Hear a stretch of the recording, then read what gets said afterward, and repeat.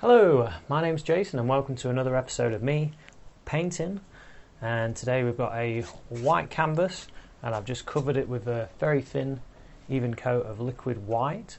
If you want to know how to apply liquid white, there's a uh, link in the description below. And let's get started on this one. We'll do like a, uh, a nice little sea, maybe a big tree here. Well, we'll see what happens. So let's start by pulling out a little bit of phthalo blue, a little bit of phthalo blue, and give it a tap. I want this to be a very summery picture, so we'll use some summery colours. A little bit of blue, and let's uh, start in the top corner here and go all the way across, all the way across, and then work down, work down and automatically picks up the liquid white and gets lighter and lighter towards the horizon, which is what we want. Okay. And let's just go over that. Look at the sky, pretty simple. And then uh, the water. I'm not using any masking tape this time, I'm just going for it. water, we'll have some of this blue, and let's tap a little bit of phthalo green in there, but a little bit. phthalo green is very strong. And let's put in our water and we'll start it. Start it at the base here. And then we'll work upwards. And then it gets lighter and lighter towards the horizon, which is what we want. Okay. beat out one of the brushes. Now very uh, lightly, let's just blend, blend this, blend this out. Very lightly, just get rid of the brush strokes. And then we can come down to the water. Do the same. Okay. So we get a nice gradient from uh, our sea to the sky. And we'll start putting in some little details. Maybe we'll have some clouds. Maybe in this one, get some of this black, midnight black. I'll put in the uh, put in a cloud. Maybe we'll have a. it was all summery. Things have changed. A Big cloud has appeared. Big cloud.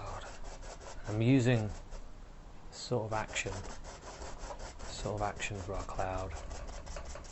So last night I was watching uh, a documentary on painting and it had Constable in it, and I was watching. I'm always looking at how they do their pictures. Obviously, it wasn't like this, but he had big clouds in the skies, and I liked it and using the uh, 2 inch brush. And we'll just mix all this up. Soften it a little bit at the base. Okay. And then uh, using back to a fan brush fan brush get some white. And then we'll highlight highlight this one side here maybe the light so just using tiny little circles up here. Just highlight some of these areas. Let's with some white. Just using tiny little circles though.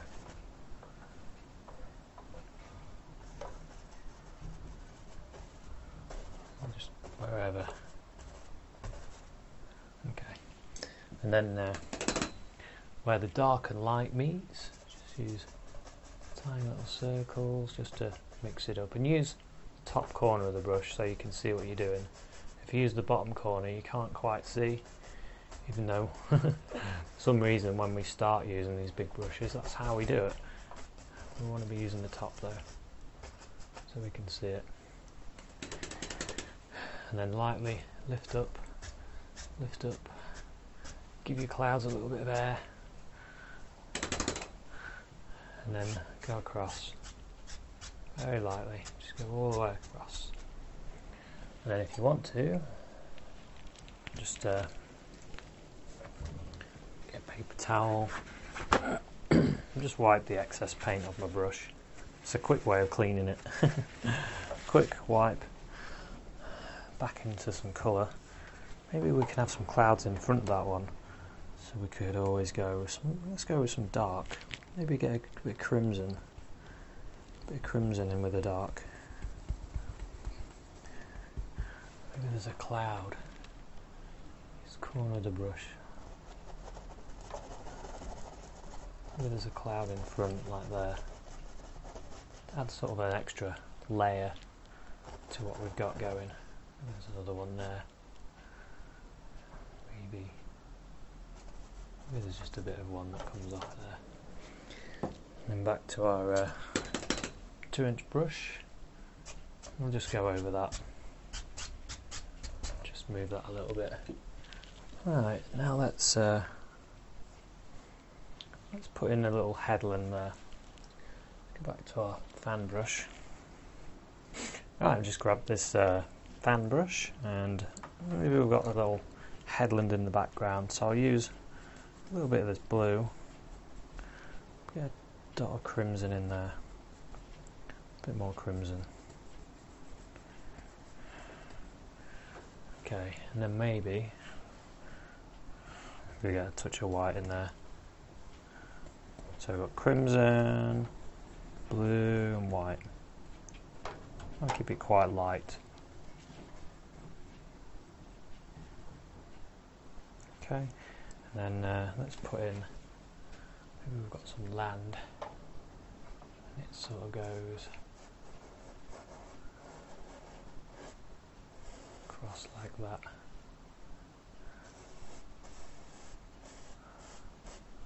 Could just pull that down.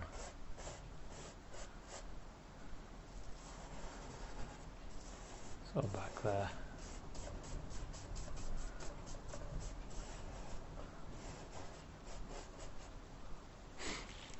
Using a one inch brush. I'm just going to tap the base of that just to sort of mist it away into the water. So it just gets all misty. Okay, and now let's uh, let's start let's start putting some little detail in the sea. Not too much though. We'll use the use the knife. Get a little bit of this white. Just pull it out flat. Cut across, get a little roll of paint on the knife, a little roll of paint. Let's uh, let's say the detail. A little bit of a, a wave here maybe. I can just about see. And I'm just pushing pushing quite hard just letting the, uh, the paint just roll off. These waves are quite distant, quite distant, so just indicating them. Little wave, maybe there's another one in, in the middle there. And maybe just very distant, just indications of waves. maybe there's one you can just about see.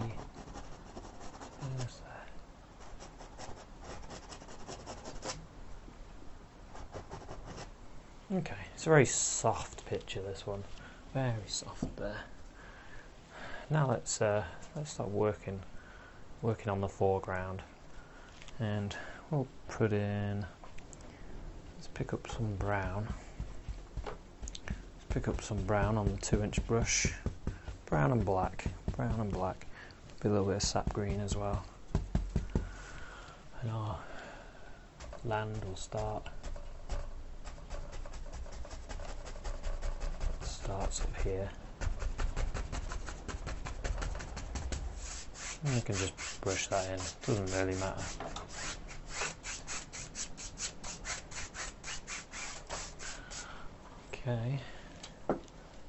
While I've got a little bit of paint still on the knife, it'd be nice if I could just have a little bit of a just there. Just felt like it needed something there. Maybe there's a bit there as well. Okay. now let's uh, let's put in a tree. Let's put in a tree there. Let's get some of this brown. Let's get some brown. Let's pull out some of this one as well. So let's get some this white. Put it in with that. So let's do the highlight and the shadow side in one go. So we've got brown here, and then the lighter one this side, all on the fan brush. Dark one side, light the other. And then we've got our light is coming this way. So let's put in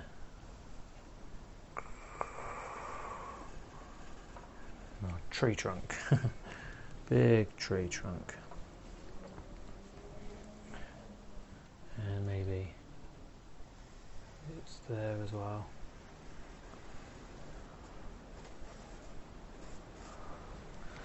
And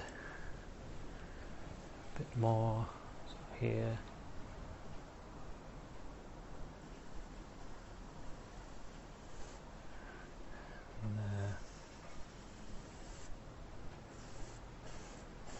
Okay, that'll do. And then uh, using our liner brush, liner brush, let's get into a little bit of paint thinner, a little bit of paint thinner, and we'll go into this brown. Just make it nice and thin. Let's come up here, let's put in uh, branch that goes there, maybe there. Wherever you want.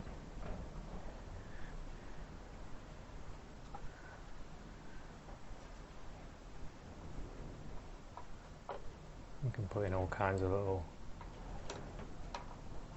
branches in here. Maybe there's one that comes across there. Up to you. Do it as detailed as you want it to be let's put in some uh, dark on there. Let's use, let's just use the one inch brush. Let's use a one inch brush, get some of this dark. Some gr sap green and some black. Let's get some of that blue as well. Blue, black and sap green. And let's, uh,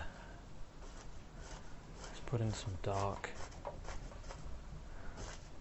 Cover up some of our nice clouds. Oh well, we know how to do them. We want to do them again. They're back there. And if you want to see them, you just have to walk around this tree and have a look that way. They're still there. Right, that's uh, a bit there.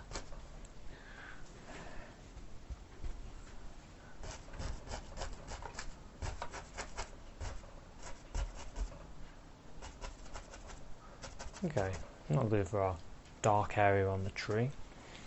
Now, before I get started on that, using the filbert, I think I'll just get a little bit of crimson, crimson and white, just create like a pink.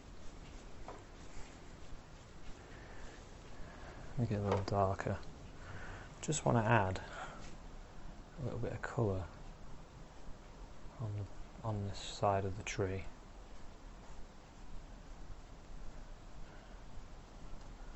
Just to warm it up a little bit there. And then on the other side of the tree, use another filbert. I'll get a bit of this blue. A little bit blue.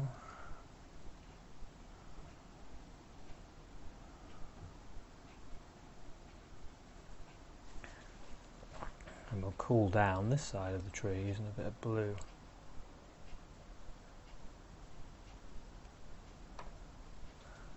Just a little bit. This is just playing with colour, using different colours to affect the mood. Okay, now let's use the uh, let's use a fan brush. Let's start highlighting this tree. Let's use let's use some of this cad yellow. Let's make it a quite a nice strong green, some phthalo green, some yellow ochre. Really strong.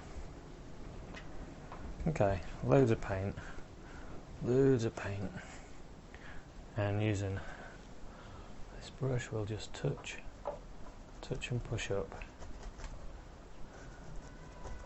touch and push up to highlight these, get a little bit brighter, and if it's not sticking, you just uh, all you need to do is get some liquid white or paint thinner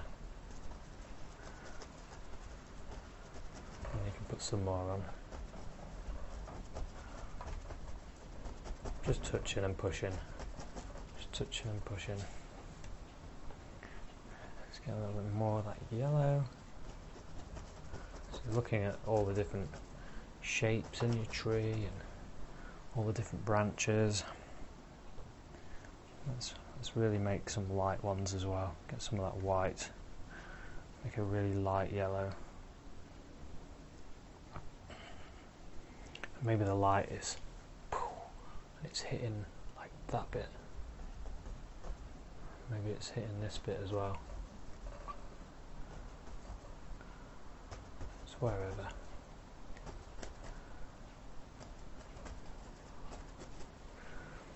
Okay. A little bit more more up here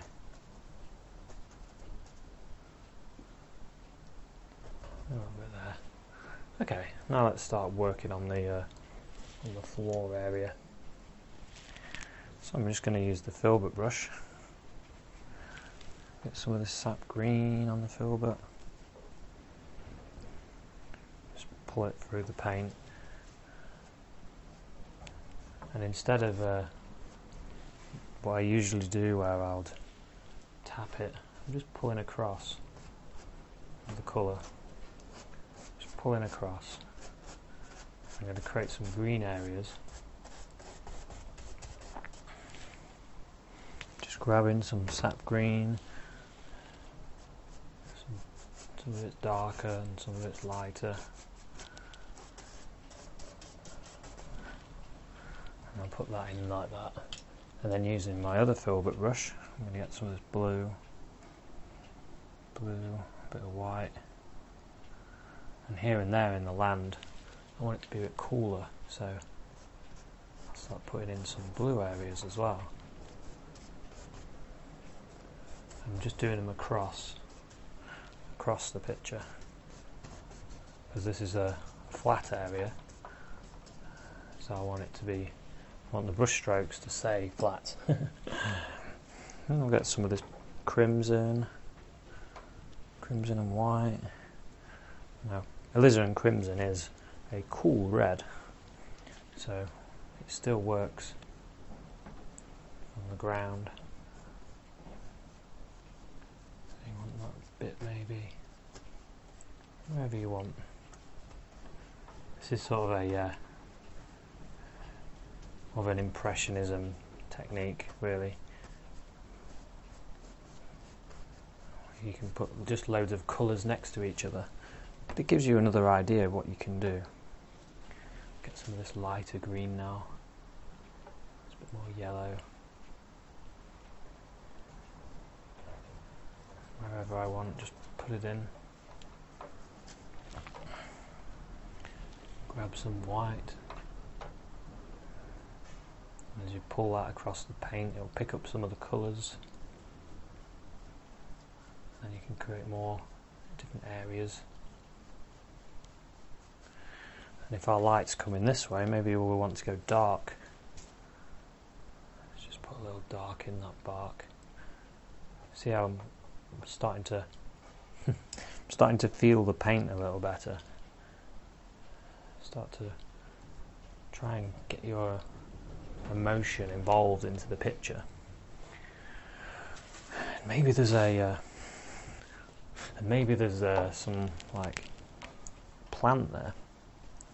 So I'm just grabbing some colour. Maybe there's a just put in indication of where there's a few plants. So I'm just using direction. I'm using da a downward direction. for these. I can put in some little plants. Maybe I'll put in some flowers on some of these. It's just a game of game of directional strokes now. And what you want. So maybe I'll get a little bit of a lighter green as well. Put some of that in front. For the edge. For the edge there. Wherever. It's up to you really. But this uh, using this technique you really need to just put your strokes in and then leave it leave it have fun with it though now let's uh, let's start putting some flowers on let's grab the uh, oh, I'm gonna have to clean a filbert brush I'll go into some paint thinner give it a shake in there use a uh, paper towel, just dry it off. Paper towel. It's clean enough. Now what I can do is, maybe there's some flowers there. Let's get some of this bright red. Bright red. Let's get a bit of white as well. That's better. That's better. Some bright. Some bright. So let's get, get quite a lot of paint on your brush. You want quite a lot of paint so you can just allow it to just pull off. Maybe there's some flowers up here. And just put them in wherever you want. There's a few over here as well.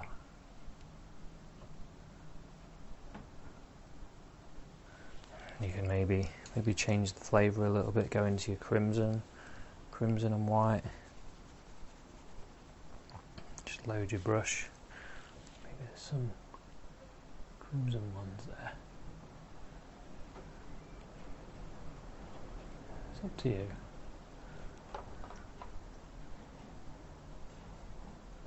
Just touch in. And then uh, have a step back, have a look, see what you want to do. I feel like I feel like it should be a little darker here. So I'm just going to grab some of this brown Just grab some of this brown and I'm just going to put a few of these in.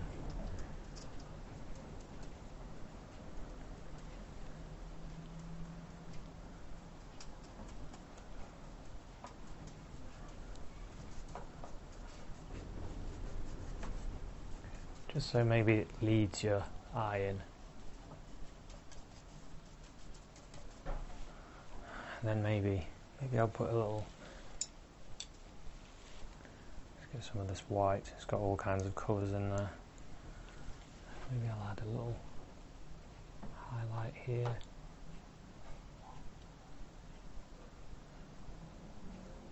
There's some white there. Just add a little bit of light. Yeah, maybe a little sap green. Maybe a little sap green along here. Just on top of this so you can start layering loads of colours on top of each other as well. Really, just having fun with the colour. Having fun. Using nature as your guide, but still doing what you want. Still your painting. Still up to you what, what you want on your canvas. Don't want you to be copying. You want to uh, do your own painting. Use the techniques that you learn. What I did when I first started is obviously I I copied other people's paintings and then but I would change it. I would change little things. I'd put put my tree in a different position or I'd make it a little bigger than what they did. Just so it was my painting rather than just a complete copy of theirs. Okay, well, I hope you enjoyed this one. It's a little different to uh, what I've shown you before. And but as always, it's a lot of fun. So, uh, thanks very much for watching this one. I'll just give it a signature and then we'll uh, call this one finished. Just going into some uh, paint thinner. Let's get some bright red. And maybe, maybe here, stick in a little.